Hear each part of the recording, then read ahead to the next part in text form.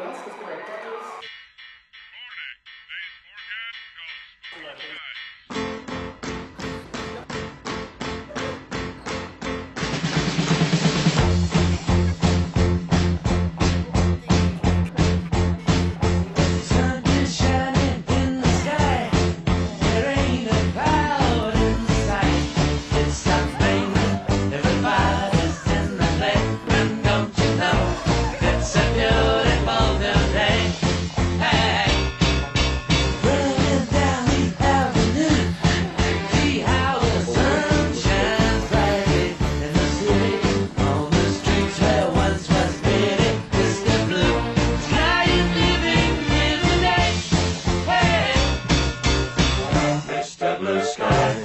tell us why